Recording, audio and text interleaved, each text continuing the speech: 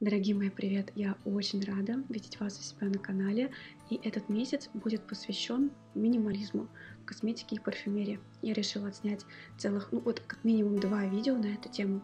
В этом ролике хочу вам рассказать про свою косметичку. Каждый день, которую я пользуюсь, косметики там немного, но для меня важно донести не просто какими продуктами я пользуюсь, но именно принцип, по которому я подбираю косметику на каждый день, чтобы получилась такая классная рабочая косметичка который просто в любой непонятной ситуации будет на вас отрабатывать.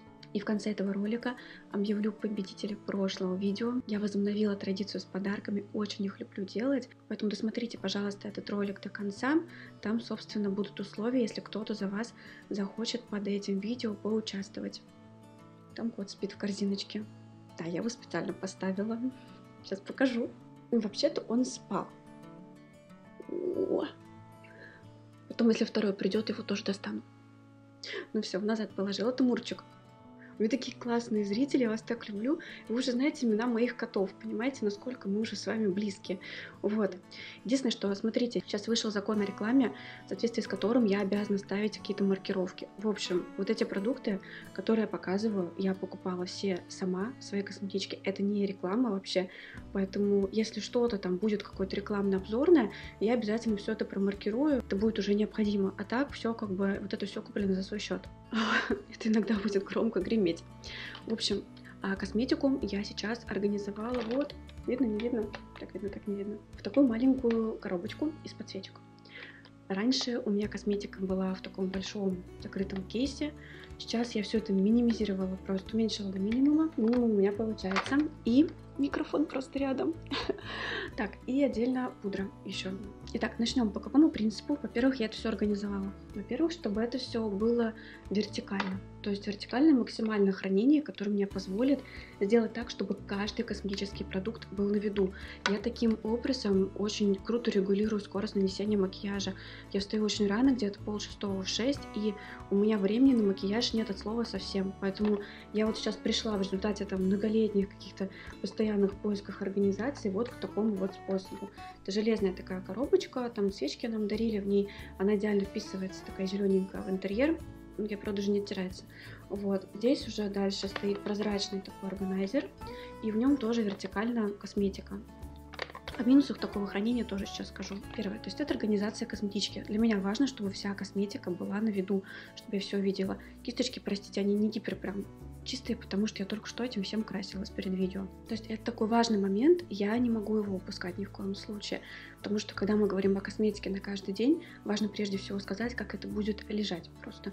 Вот, то есть все палетки, тона, все это расположено вертикально для того, чтобы было просто максимально удобно и быстро все это достать. Минусы такого хранения в том, то, что когда я достаю вот тон, у меня может левая часть, где там всякие карандашики расположены, просто свалиться и упасть. То есть, по идее, туда можно еще одну какую-то коробочку поставить. Так, я начну с пудры. Она у меня стоит отдельно просто, и она вот такая вот красивенькая. Это для меня такой важный продукт косметички, потому что пудра должна не просто хорошо фиксировать макияж, она должна действительно давать такой эффект фотошопа. И для меня важно, чтобы пудра отрабатывала как на каждый день, так и чтобы я могла использовать этот продукт для выхода, например, когда мне нужно сделать вечерний макияж. В общем, сейчас у меня вот такая вот, это Герлен, я ее ни в одном видео еще не показывала. Ну, начну хотя бы с чего-то новенького, то скажут, еще одно и то же показывает каждый раз. На самом деле это очень-очень удачный продукт.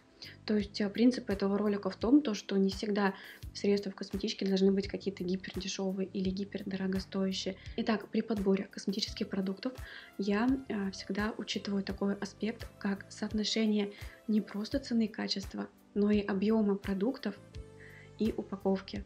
Вот этому меня уже научил такой многолетний опыт э, работы визажа, потому что зачастую упаковка действительно играет важную роль. Если собираетесь с утра, как я, часто косметика просто из рук падает, иногда что-то бьется, портится и так далее. Тогда на упаковку нужно обратить особое внимание, иначе одно и то же средство придется перепрессовывать 100-500 раз или просто 100-500 раз перепокупать из-за того, что просто бьется упаковка или продукт в ней постоянно э, каким-то образом вылетает. Это важный такой аспект.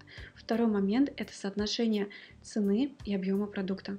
Сейчас я пришла к тому, что просто не всегда набираю то, что вы знаете, прям а, много, чтобы было продукта именно, чтобы вот максимально прям цену за грамм высчитывать. В каких случаях я высчитываю цену за грамм? Первое. Если я постоянно пользуюсь этим средством, каждый день практически, если мне это средство очень сильно нравится, я понимаю то, что оно у меня скоро закончится. К чему я это сказала? К тому, что вот пудра, как раз хорошая, качественная, это именно для меня вот такой продукт. Я ей пользуюсь постоянно просто, каждый день практически, за исключением тех дней, когда я вообще макияж не наношу. То есть для меня пудра очень важна, и для меня важно, чтобы ее было просто много. До этого я постоянно пользовалась а, пудрой бронзером от Шарлотты и под глаза добивала пудру от Сеслей рассыпчатую. Она тогда, кстати, была очень дорогостоящая, но огромная просто банка, ее хватило на много-много лет. Эту пудру мне подарили друзья, и мне эта пудра очень сильно понравилась. Я захотела показать в обзоре, соответственно, мне нужно было узнать там, соотношение цены, там, объема и так далее. Я удивилась, то, что 3 с небольшим тысячи за целых 20 грамм продукта. То есть ее здесь реально много. Учитывая то, что я пудрой пользуюсь просто постоянно, для меня это идеальная вообще абсолютная история получилась. Потому что, кстати, как вариант, есть более бюджетные пудры, которые стоят чуть дешевле, но их в разы просто меньше. Я понимаю то, что она у меня вот буквально закончится сейчас, и получается мне потом это все перепокупать, кстати, нужно будет. То есть не такая уж и вроде выгодная покупка. А здесь просто роскошнейшая упаковка, будет очень громко.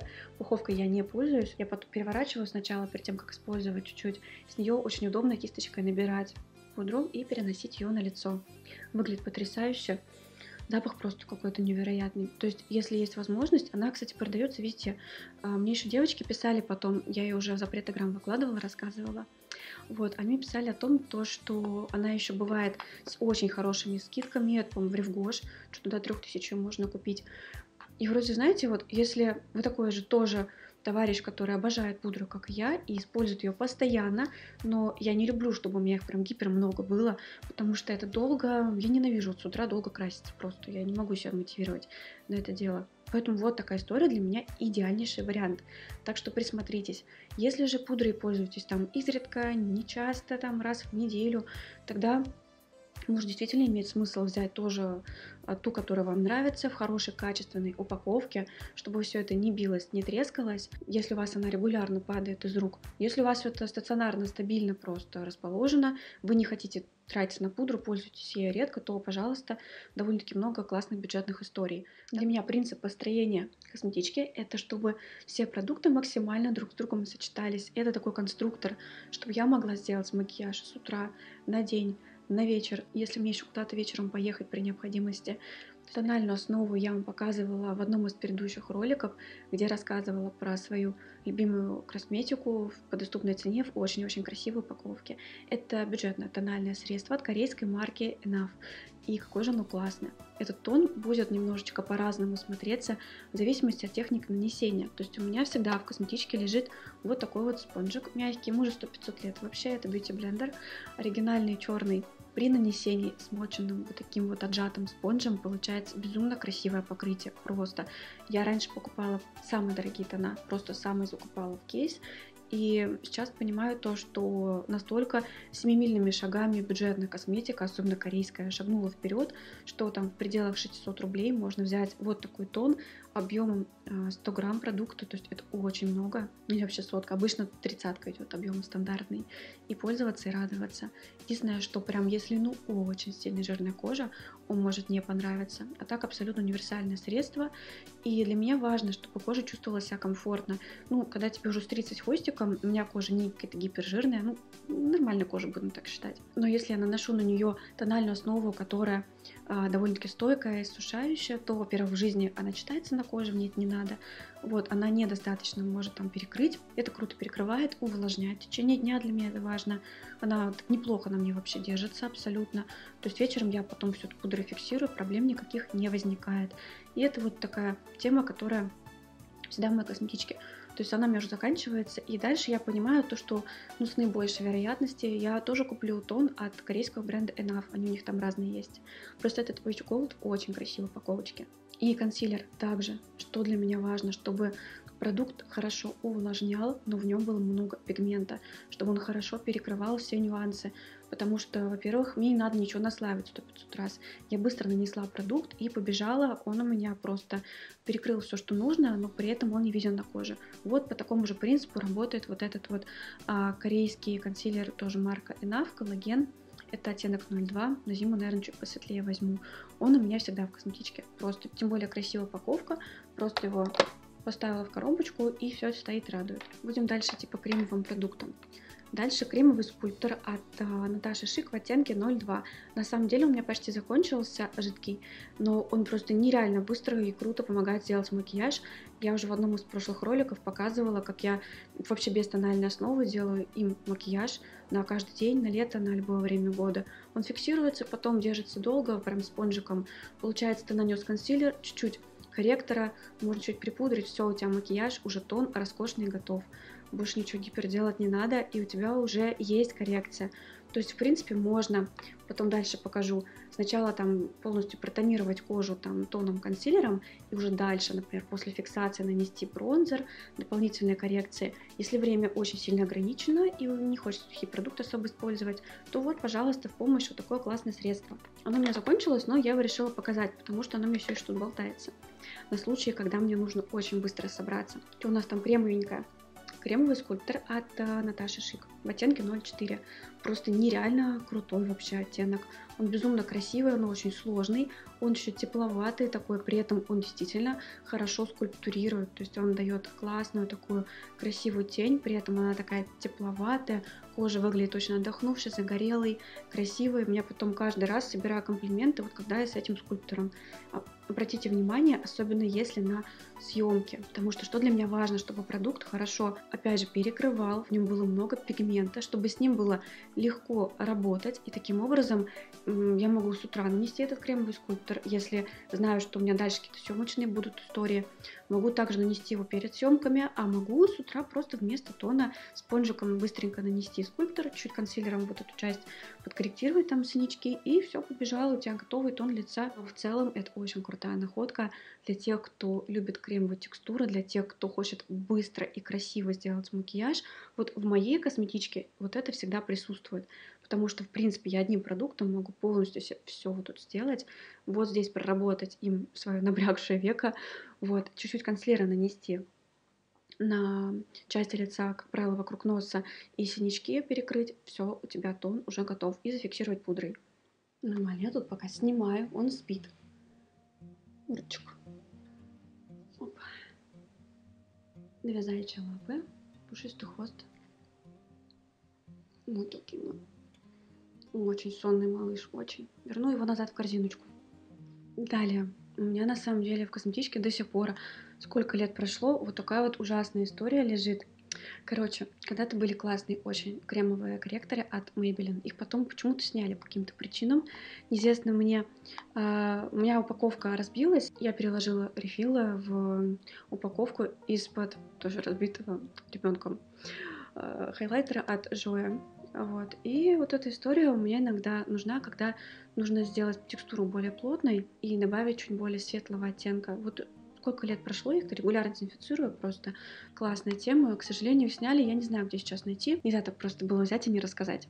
Дальше. Так, буду просто громко буду показывать. С краешка у меня вот тут лежит керлер для ресничек, чтобы можно было так быстренько его достать.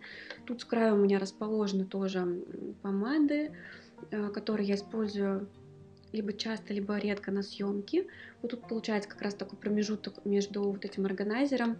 Это, кстати, органайзер из Fix Price, он уже ну, просто не оттирается, я уже даже пустомойки мыла 100-500 раз, он очень сильно удобный, он был с выдвижным таким ящичком. Я вот вытащила этот ящик, у меня дочка в него что-то складывает, а вот сюда вот затолкала его вертикально, вот в такую вот коробочку из-под свечей. Тоже словно к теме организации. Вот, помады у меня сейчас чаще всего... Раньше, знаете, какой пользовалась? Она у меня просто закончилась. А, так не нашла на нее аналог. Говорят, у Шик есть похожая. Никс Бабидол просто потрясающий вообще оттенок. Мой был самый любимый. Ну, короче, его сняли уже. Это Эстрада Мат Макарон, оттенок 77. Он чуть такой холодноватый, я его как показывала в одном из прошлых видео, но помада очень комфортная. Она матовая, в ней немного пигмента, ее наносишь, она фиксируется, фиксируется не наглухо, не наглухо, не наглухо, то есть она губу не сушит. Вот это прям обожаю вообще в ней, но оттенок прям холодный, имейте в виду. Скульптурирующая помада, вот такая Stellary, оттенок 02, ничего особенного, просто классная, хорошая помада, но иногда хочется сюда нанести в центр губ, чтобы чуть-чуть их такими попухлее сделать, так сказать. Они на самом деле самые обычные, просто их так крашу. Так что вот ее имейте в виду, я тоже как показывала. Так, и немножко запрещенки, ну почти запрещенки. Это Шанель, а, помада в оттенке Timeless 80. Я ее помню, кто у меня подписан в запретограмме и в других соцсетях. Даже думала продать одно время, но потом просто сменила гнев на милость, поняла то, что это потрясающий просто оттенок, и я не хочу ее никуда отдавать. Я использую ее перед съемками, когда надо губки сделать чуть более яркими такими, такую немножечко девочковый оттенок придать, либо, например, более красными.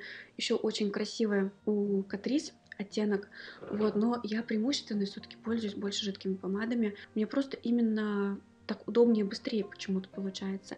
Это помада лаковая. Принципе, вот если аналогов, аналогов 100% я еще не видела. Но если что, имейте в виду, у К3 120, по-моему, оттенок обычной классической помады тоже очень-очень красивый. Но он больше похож на шанелевскую.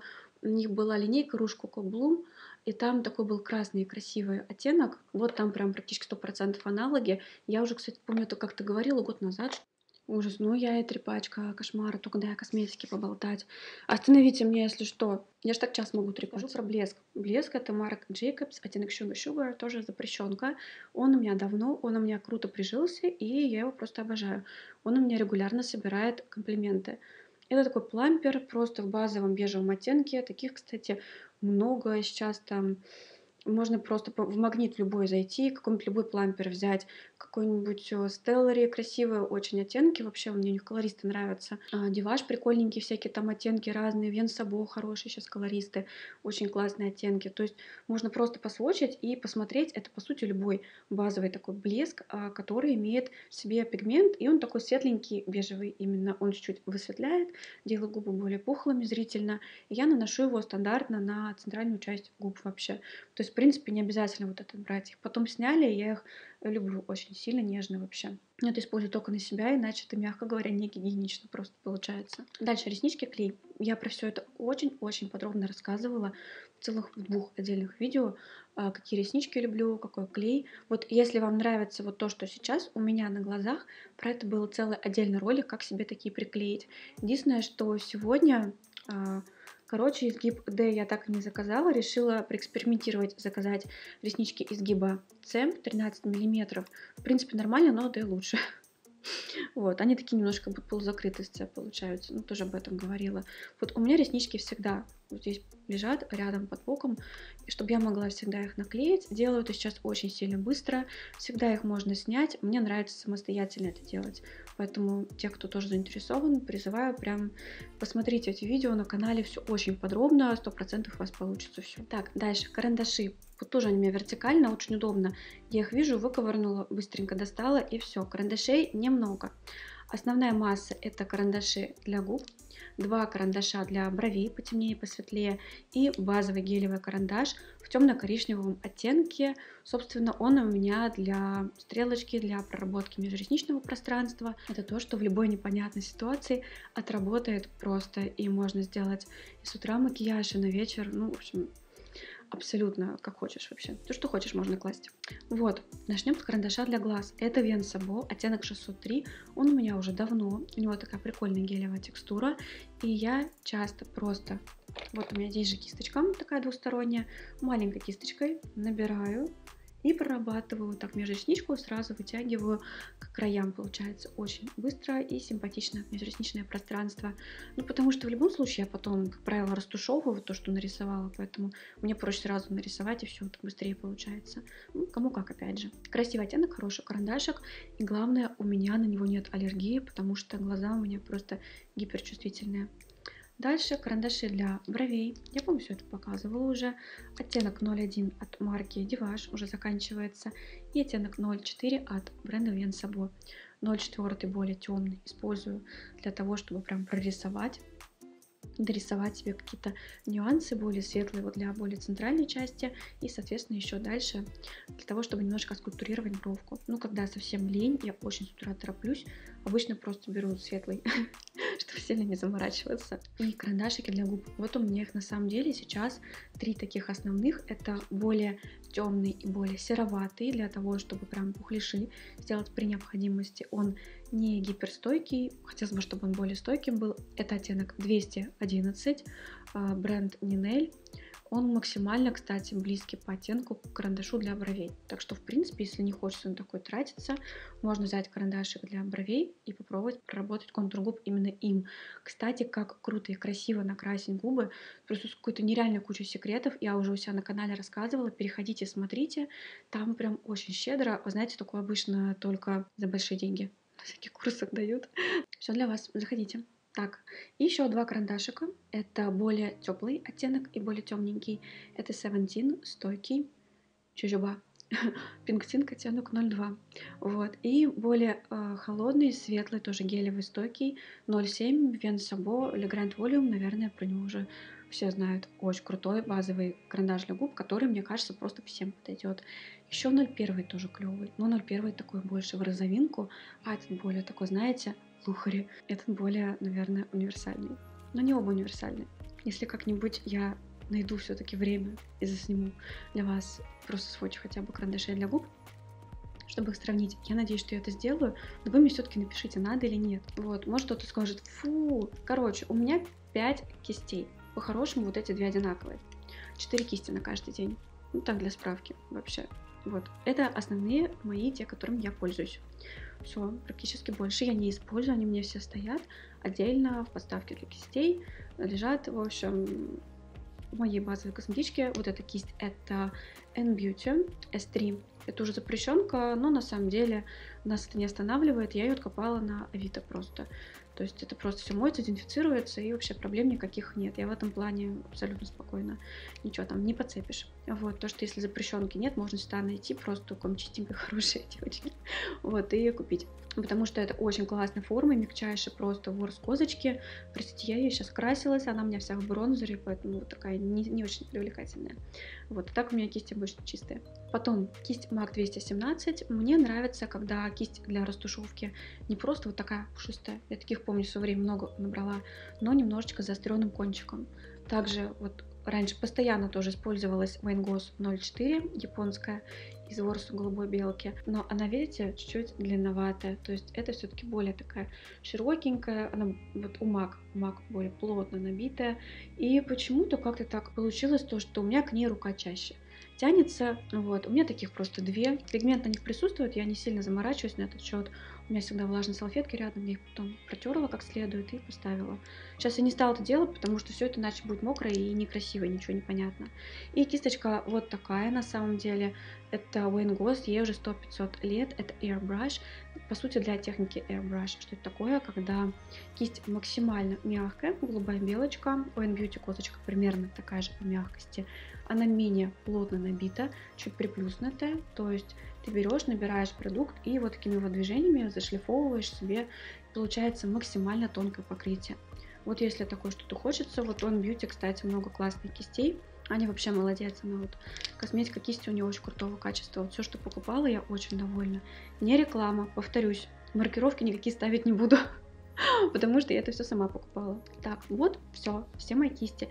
А, вот еще одна, смотрите, у нее, это вообще кисть, кстати, мне попалась в палетке Urban Decay, была такая с пигментами прессованными, разноцветными, я потом продала.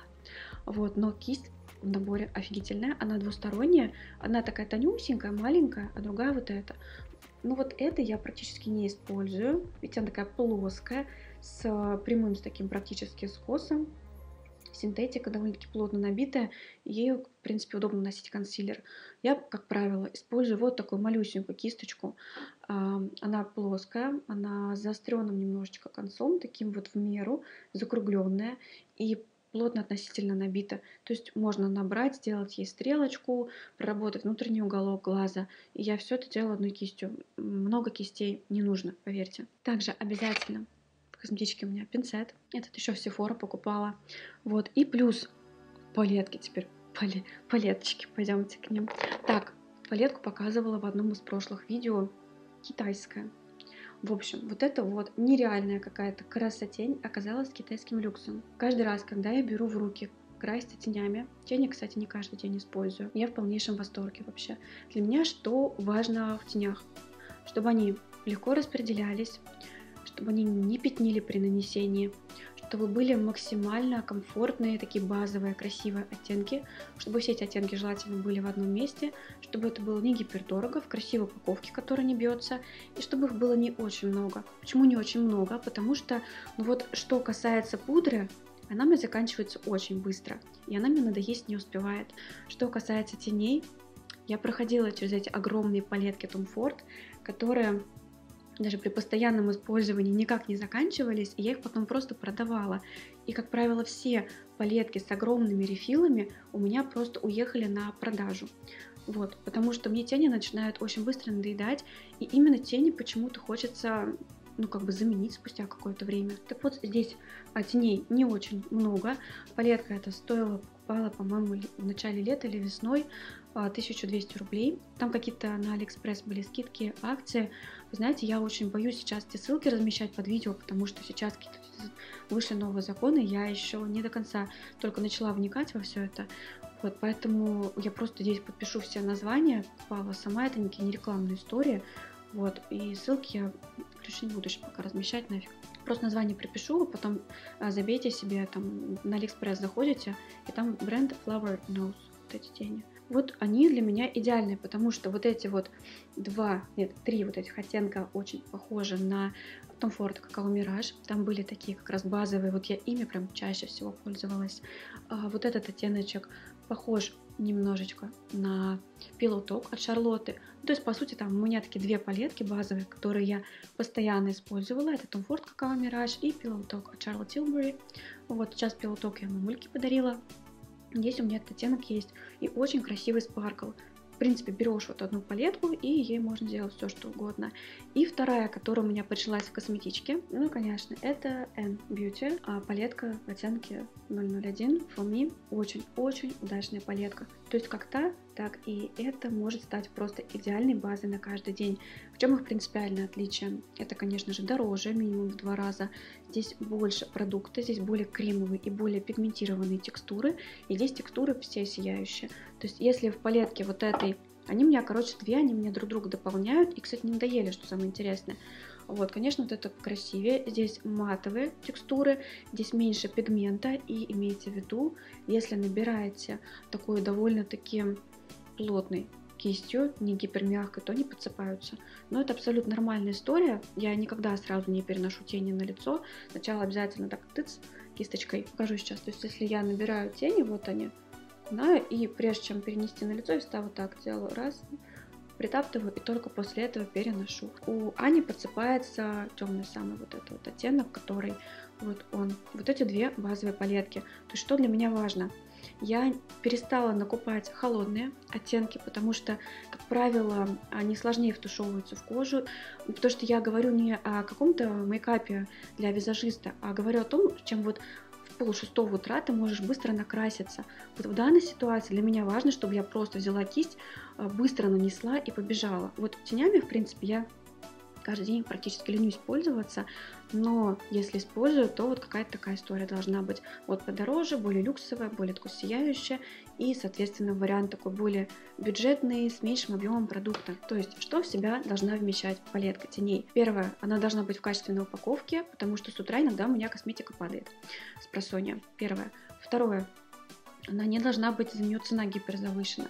Третье, мне для себя не нужно гипер много продукта, то есть здесь я не высчитываю цену за грамм, я смотрю просто на то, чтобы это было базово для меня, чтобы я это могла использовать просто практически каждый день. И, как правило, для меня лично и в большинстве случаев это оттенки чуть с теплинкой, как раз немножечко тепловатые, с ними реально в разы просто проще работать, к ним чаще всего тянется рука, обратите на это внимание. Вот. И, соответственно, чтобы там была какая-то, был первый темный оттенок для скульптурирования, второй была какая-то сияшка качественная, которая будет там плюс-минус держаться, третья транзитный какой-то оттенок, желательно какой-нибудь интересный, либо розоватый, либо рыжеватый, четвертое либо сияющий, ну, в общем, что-то светлое такое, чтобы можно было немножечко века как сказать, грунт такой для теней. Ну, в принципе, не обязательно самый светлый оттенок, но мне как-то с ним попроще немножечко хотя раньше я их не использовала. Дальше, румяна.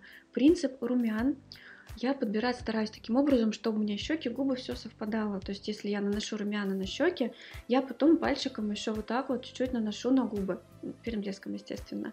Вот, потом эти же румяна я обычно этой же кистью либо пальцами. Потом обязательно переношу вот сюда на неподвижные века, то есть чтобы максимально объединить образ. То есть я обычно просто вот честно беру какую-нибудь кисть, я наношу румяна сюда, сюда, чуть-чуть макаю, вот так прям делаю этими же румянами, поэтому для меня важно, чтобы кисть была чуть заостренная. Вот, и также все, все. Одна кисть, одни румяна. Вот эти N Beauty, у нее только один оттенок, он очень адаптивный, он безумно красивый, он вообще всем абсолютно идет. Единственное, конечно, если у вас очень сильно темная кожа, он будет, конечно, смотреться не очень красиво. Вот, а так потрясающий универсальный оттенок. В нем, кстати, много пигмента, его можно наслоить. И они прям вышлифовывают, фотошопят, в них такое сияние благородное. То есть э, хайлайт уже никакой не нужен вообще, я им не пользуюсь каждый день. Все просто супер вообще. Это для меня просто идеальный такой продукт. И мне еще очень нравятся румяна, я их просто подарила. Ко мне сестренка приезжала, я их отдала. В общем, там такая предыстория, что у нее не было времени пойти в магазин. Вот, она приехала, вещи еще не приехали с ней, говорит, только какие там румяна можно быстро купить. Я говорю, ну вот быстро купить не получится, говорю, их заказывать надо, что-то бюджетное, если хочется именно бюджетное, то вот, э, вот эта фирма Рута, по-моему, 02 оттенок. Они очень крутые по качеству вообще, то есть они такие с сиянием, персиковатые, теплые, такие прям красивые. Их можно использовать для такого мейкапа в стиле джило вообще. Там максимально простая упаковка, небольшой объем продукта. Я их покупала в яблоке за 180 рублей. Очень классный, отличный вариант. Уже показывала 100-500 раз. И вот я их, как правило, наносила. И, кстати, я их наносила обычно спонжем тем же, которым все остальное наношу. И тогда самый мой любимый, самый необходимый, самый важный продукт у меня в косметичке это бронзер, тот, без которого я жить вообще не могу. А, до этого у меня был любимчик бронзер от N-Beauty, но я его просто практически хлам вообще использовала и решила пока просто оставить, чтобы можно было хотя бы сводчи сравнительные для вас сделать вообще. У меня там еще немножечко есть, и пока что прикупила себе бюджетный, я его показывала, кстати. Это бренд Revolution, покупала, по-моему, за 900 рублей, можно за 800, сейчас он чуть подорожал, но тоже скидки, акции, промокоды, все это все прям в помощь вообще, чтобы можно было взять это как можно более выгоднее. У меня такой же спортивный интерес. Вот. Дело в том, то, что я бронзер использую очень много. Для меня это чуть ли не основной продукт в макияже, потому что именно он позволяет сделать кожу загорелой, отдохнувшей, холеной, сделать немножечко можно скульптуру с помощью бронзера. То есть это для меня основной продукт. Что для меня важно? Опять же, чтобы в идеале это не стоило гипердорого, потому что бронзеры у меня очень быстро заканчиваются. Чтобы это был красивый человеческий оттенок, чтобы это было в хорошей упаковке, потому что у меня очень много крутых бюджетных бронзеров было, но они меня побились просто. Есть, по-моему, просто идеальное соотношение. Красивый рефил. Его здесь 8 грамм, то есть, в принципе, довольно-таки много. Он мне весь уже затертый, хотя его, в принципе, недавно купила. У него очень мягкая текстура, он отдает ровно столько продукта, сколько нужно, в зависимости от того, какую кисть вы возьмете. То есть, смотрите, если вы берете вот какую-нибудь прям мягчайшую кисть, которая, видите, она не очень плотно набита, такая мягонькая, то она перенесет на кожу продукта меньше. Если кисть будет какой-нибудь такой синтетической, более плотно набитой, ведь она плотнее чуть-чуть, синтетика еще к тому же тоже мягкая, то она перенесет вам больше бронзера. Ну, то есть я такие продукты люблю, в которых можно наслаивать все, максимально варьировать вообще интенсивность нанесения. Оттеночек для меня важно, чтобы был не слишком рыжий, не слишком холодный, чтобы я могла его нанести не только на зону бронзирования, но и вот сюда чуть ниже, на боковые стороны лица. В принципе, я бронзера наношу очень много вообще. Это для меня основной принцип, чтобы бронзер был максимально качественным и недорогим. Я его ношу вместо теней вот сюда, просто чуть ли не все лицо вообще. Это, знаете, уже когда я начала очень прям засматриваться уроками Скотта Барнса, визажиста Дженнифер Лопес, он, как правило, использует много кремового скульптора, общем, много всего. Вот. И вот я именно у него начала подглядывать вот эти техники работы с бронзером. Это действительно потрясающий продукт. А когда еще много лет начинала назад, читала книгу и начинала только заниматься визажем, это была книга одного американского визажиста э, Роберта Джонса. Там он бронзер, бронзер, then to apply the bronzer. Я такая, зачем этот бронзер, бронзер, ну что это такое вообще? Представляете? А сейчас просто не могу без этого продукта. Так что самое главное в моей косметичке, чтобы косметики было немного. То есть косметика минималиста такой список. Ну, на самом деле, что есть для меня минимализм? Представляете, для человека, а, который, в принципе, уже, я бы сказала, а, избавился от такой сумасшедшей косметической зависимости, когда я просто все подряд скупала. У меня уже просто было про это отдельное видео. Вот сейчас я пришла к такому базовому, минимальному набору косметики, которым я могу сделать любой макияж. Вот что для меня важно, чтобы продукты максимально были адаптивными, опять же, консилер, тон, подстраиваться под тон кожи, вот эти корейские увлажняющие, чтобы я могла сделать макияж этим набором на каждый день, на съемке, на вечер, на прогулке, чтобы это красиво смотрелось и днем, и вживую, и в кадре. И вот такой, знаете, как конструктор, я беру все продукты между собой, сочетаю, и получается это просто очень круто. Их немного, но не все работают.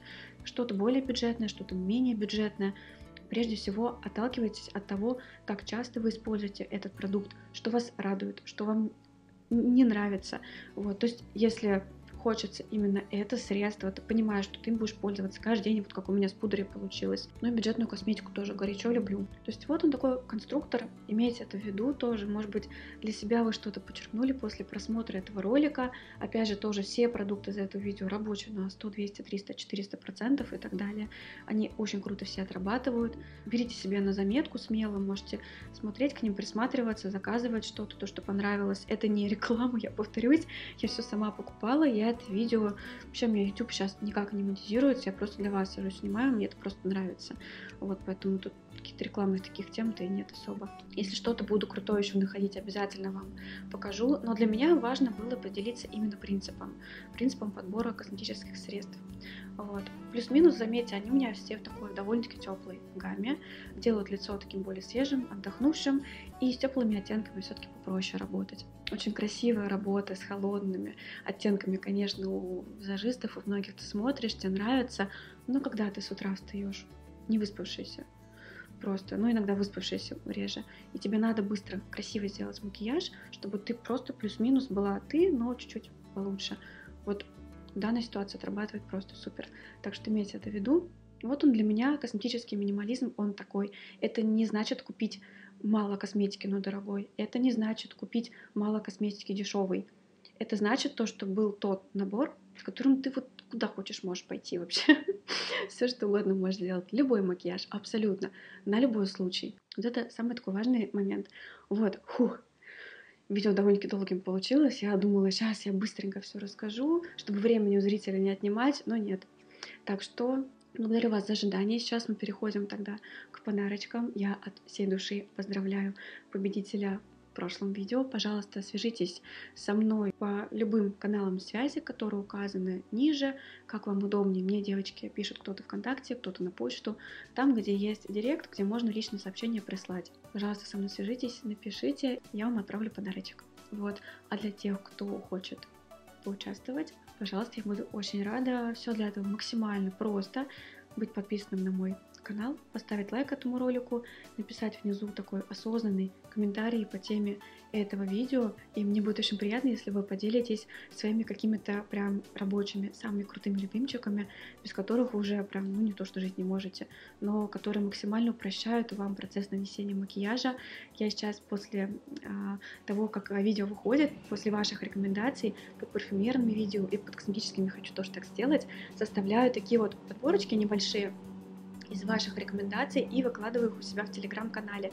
Так что можно будет туда заходить и смотреть подборки от зрителей. Мне кажется, очень круто и интересно вообще. В следующем видео расскажу вам про свой парфюмерный гардероб, потому что у меня на канале косметика парфюмерия, две мои такие большие страсти. Мы с вами, конечно же, не прощаемся. Всем огромное спасибо за внимание и до новых встреч в новых роликах. Всем пока!